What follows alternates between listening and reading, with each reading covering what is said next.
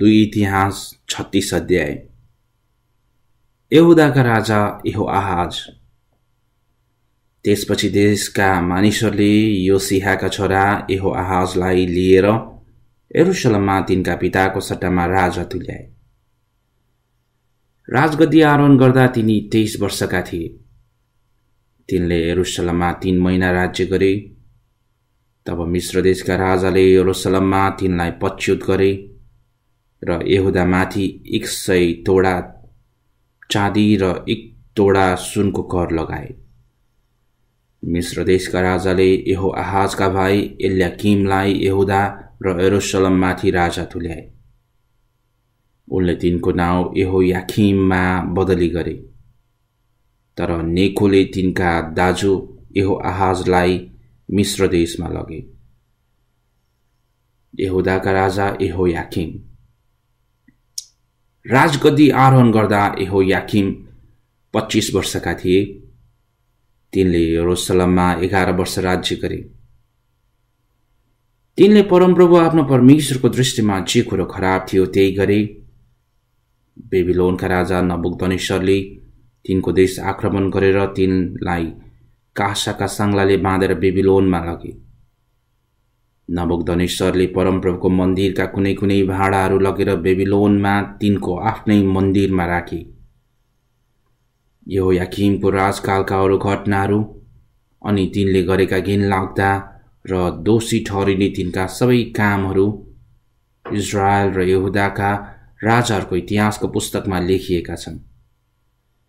तिनीपछि तिनका छोरा यहो याकिन राजा भए।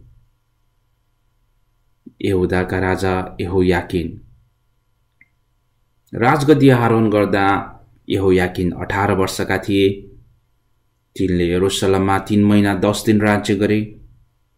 तिनले परमको दृष्टिमा जे कुरो खराब थियो त्यही गरे। वसन्त ऋतुमा राजा नबुकधनेश्वरले मानिसहरू पठाएर परमप्रभुको मन्दिरका असल असल भाँडाहरू समेत तिनलाई बेबिलोनमा ल्याए। तिनका पिताका भाइ सिद्किहालाई यहुदा र एरुसलममाथि राजा तुल्याए। यहुदाका राजा सिद्किहा। राजगद्दी आरोहण गर्दा सिद्किहा एक्काइस वर्षका थिए। तिनले यरुसलममा एघार वर्ष राज्य गरे। तिनले परमप्रभु तिनका परमेश्वरको दृष्टिमा जे कुरो खराब थियो त्यही गरे। परमेश्वरको वचन बोल्ने एर्मिया अगमवक्ताको सामु तिनले आफूलाई विनम्र पारेनन्। परमेश्वरको नाउँमा तिनलाई शपथ खुवाउने राजा नबोकधनेश्वरको विरुद्धमा तिनी बाघी भए तिनी अटेरी र हठी भएर परमप्रभु इजरायलका परमेश्वरतिर फर्किए आउन तिनले इन्कार गरे। यसबाहेक अरू जातिहरूका सबै लाग्दा कामहरू गरेर र परमप्रभुले एरोसलममा पवित्र गर्नुभएको उहाँको मन्दिरलाई अपवित्र पारेर पुजारी र मानिसहरूका सबै नायकहरू झन झन विश्वासघाती भए। एरोसलमको पतन। आफ्नो प्रजा र आफ्नो वासस्थानमाथि दया गर्नुभएको हुनाले परमप्रभु तिनीहरूका पुर्खाहरूको परमेश्वरले तिनीहरूलाई आफ्नो दूतहरूद्वारा घरिघरि चेतावनी दिनुभयो। तर परमप्रभुको क्रोध उहाँका मानिसहरूमाथि नपरुन्जेल। तिनीहरूले उहाँको दूतहरूलाई हँसी ठट्टा गर्न उहाँका वचनहरूको निन्दा गर्न र उहाँका अगमवक्ताहरूको गिल्ला गर्न छोडेनन् अनि त्यो शान्त हुनै सकेन उहाँले तिनीहरूका विरुद्धमा बेबिलोनीहरूका राजालाई ल्याउनुभयो जसले वासस्थानभित्रै तिनीहरूका जवान मानिसहरूलाई तरबारले मारे र जवान मानिस युवती वृद्ध कमजोर कसैलाई पनि तिनले छोडेनन्। परमेश्वरले ती सबैलाई नवोक्धनेश्वरको हातमा सुम्पिदिनु भयो। उनले परमेश्वरको मन्दिरका साना ठुला सबै भाँडाहरू र परमप्रभुको मन्दिर र राजा र तिनका अधिकारीहरूका दामी दामी थोकहरू सबै लगे। उनीहरूले परमप्रभुको मन्दिर जलाइदिए र एरोसलम सहरको पर्खाल भत्काइदिए।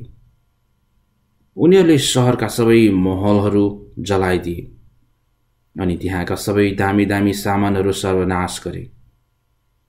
तरबारबाट उम्केकाहरूलाई उनले कैद गरेर बेबिलोनमा लगे। र फारसको राजस्वता नहुन्जेल तिनीहरू उनका र उनका छोरा हरूका दास दासी भयो।